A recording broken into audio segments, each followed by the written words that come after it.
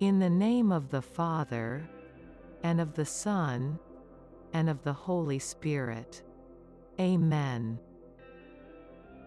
O glorious Virgin and Martyr Saint Agatha, you who from an early age consecrated your mind and heart to God, you who imitated the spotless Lamb in the exalted purity of life, in the exercise of the most heroic virtues and in the glorious struggle of martyrdom.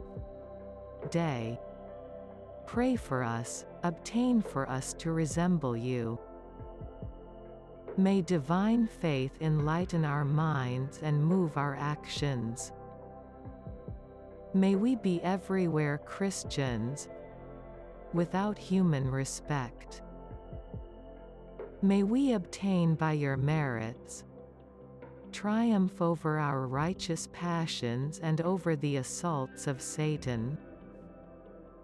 May we attain the end for which God created us and redeemed us, the blessed crown of paradise.